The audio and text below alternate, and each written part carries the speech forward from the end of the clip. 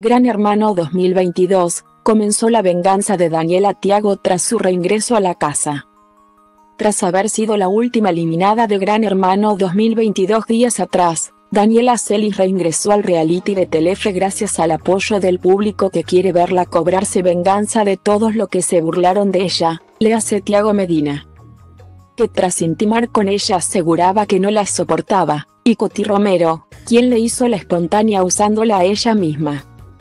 Lo cierto es que decidida a ir por ellos dos vengañela, tal como la apodó el mismísimo Santiago del Moro.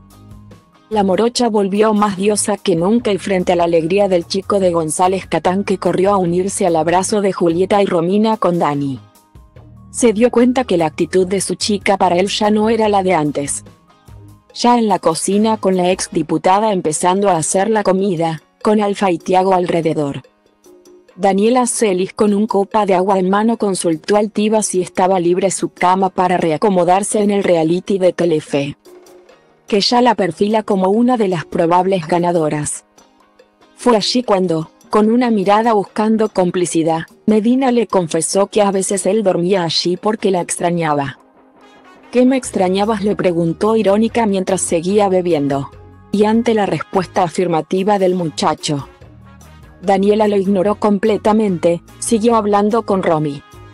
Tras irse hacia las habitaciones a seguir saludando gente, tanto la exdiputada como Tiago notaron el cambio de actitud de la chica tras unos días afuera de Gran Hermano 2022, no sé por qué está así, deslizaron. Pero al verla abrazarse con los nuevos, Ariel y Camila, y charlar efusiva con Alfa, su exnovio optó por retirarse al darse cuenta que lo estaba dejando pintado, como vulgarmente se dice. Sucede que ya está en acción Bengañela. Seguramente luego irá por la correntina, Coti Romero. La de este lunes fue una noche a pura adrenalina en Gran Hermano 2022, Telefe. Tras la eliminación de Juliana por romper el reglamento, nuevos participantes ingresaron en el repechaje y la cosa se puso más picante que nunca. Santiago del Moro comenzó informando quiénes eran los participantes menos votados de la noche, Cata con el 2. 19% de los votos, Juan Reverdito con el 2, 89%, Tomás Holder con 5, 54%, y Martina Stiguaruser con el 7. 85% fueron los primeros en abandonar la competencia. La primera en ingresar a la casa con el 40, 98% de los votos fue Daniela, y su entrada fue gloriosa, la primera en correr a recibirla fue su entrañable amiga. Julieta, y le siguieron Romina y Tiago. Luego, con el 47, 15% de los votos le siguió Agustín, quien aseguró que llevaba en esa valija los sueños de la gente que lo bancan. Lo primero que hizo Frodo al entrar a la casa es buscar a Marcos, corriendo.